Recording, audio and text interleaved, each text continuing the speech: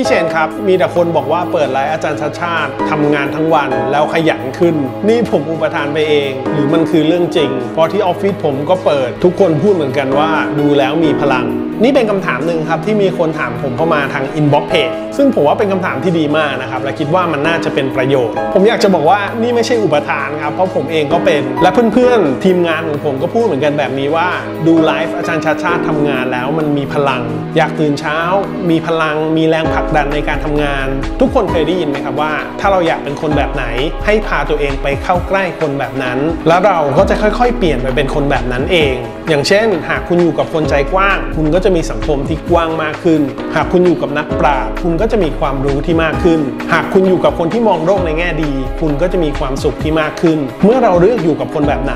ก็จะค่อยๆ เปลี่ยนไปเป็นคนแบบนั้น ซึ่งในเคสของอาจารย์ชาติชาติครับโซเชียลมีเดียเนี่ยมันทำให้โลกเราเล็กลงเข้าใกล้กันได้มากขึ้นการไลฟ์ของอาจารย์จึงถ่ายโอนพลังบางอย่างมาให้เรา ไม่ว่าจะเป็นพลังในการใช้ชีวิต พลังในความขยัน พลังในการทำงาน ซึ่งถ้าเรามองให้กว้างขึ้นครับผมว่ามันสะท้อนเรื่องหนึ่งอะที่มันน่าสนใจมากๆ นั่นคือเรื่องของการเป็นแบบอย่าง ได้ผลลัพธ์ที่ดีกว่าการสั่งหรือการสอนเสมอ และมันเป็นแบบนี้ในสังคมทุกขนาดครับ ตั้งแต่เล็กสุดเลยนะ ตั้งแต่ครอบครัว หากเราอยากสอนให้ลูกเราเป็นคนที่มีความสุภาพอ่อนโยน ใจเย็น สอนเท่าไหร่ลูกก็ไม่มีทางเป็นได้ครับ หากตัวเราหรือพ่อแม่ยังด่าทอกันเอง และโมโหออกอาการทุกครั้งที่ฟังเรื่องที่ไม่เข้าหู เราก็จะไม่มีทางเป็นคนที่สร้างนิสัยสุภาพอ่อนโยนใจเย็นให้กับลูกได้เลย เมื่อขยายมาในภาพที่กว้างขึ้นครับ อย่างสังคมในที่ทำงาน หากเราเป็นหัวหน้าแล้วเราอยากให้ลูกน้องหรือพนักงานของเราเนี่ยเป็นคนที่ขยัน แต่ตัวเราเนี่ยเป็นคนที่ขี้เกียจมันก็เป็นเรื่องที่ยากมากที่เราจะสร้างทีมงานที่แข็งแรงขึ้นมาได้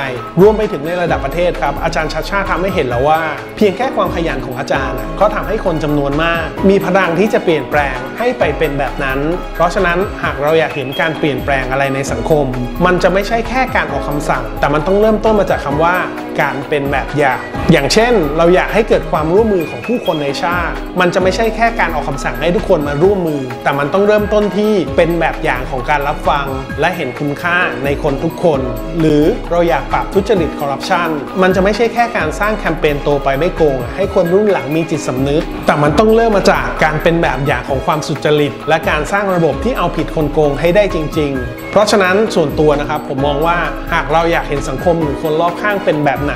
ในทุกระดับเลยนะครับ ตั้งแต่ครอบครัวไปจนถึงระดับประเทศ เราก็จงเลือกที่จะเป็นคนแบบนั้นปลูกฝังสิ่งเหล่านั้นด้วยการกระทำให้มากกว่าคำพูด คือ